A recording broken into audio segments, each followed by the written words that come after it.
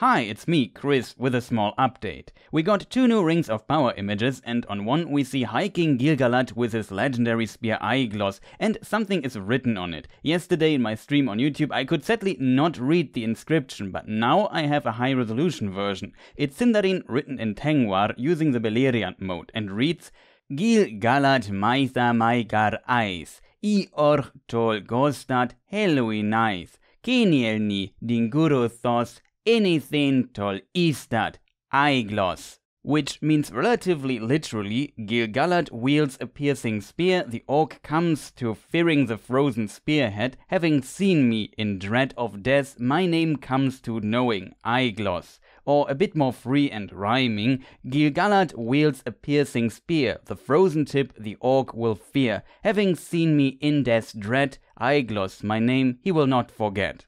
Pretty cool, see you next time.